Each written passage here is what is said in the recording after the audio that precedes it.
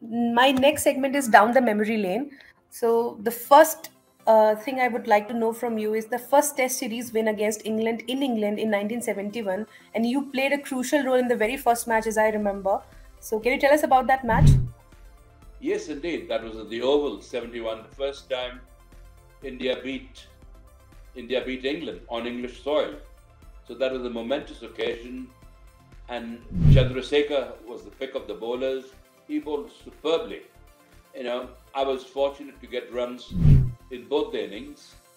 And um, I'm sure I was supported by Vishwanath in the second innings. And um, so, I mean, yeah, I was fortunate enough to get, I had more experience batting on English wickets against English bowlers.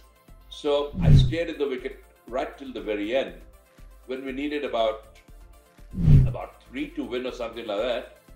And Vishwanath got out and Abid Ali walked in. So I told Abid, I said, after you, there's only Bishan, Chandra, and you know, Venkat, and they don't know which side of the bat to hold. So don't look, throw your wicket away. You know, we're in the game, we're in a winning position now. He said, ha ha ha ha. First ball, what's he do? He charges down the wicket, trying to hit, I think, Derek Underwood or someone. And Alan Knott misses a, a fairly easy stumping chance. So I told Abid, kya karta hai Don't, you know, no need for any bravado. There's plenty of time. There's no rain around. He said, okay. So end of the over, I, I was batting. And I thought, you know, let me take a single, not take any risk and put Abid on again. I'm sure he'll, he'll bat sensibly to get two more runs to win.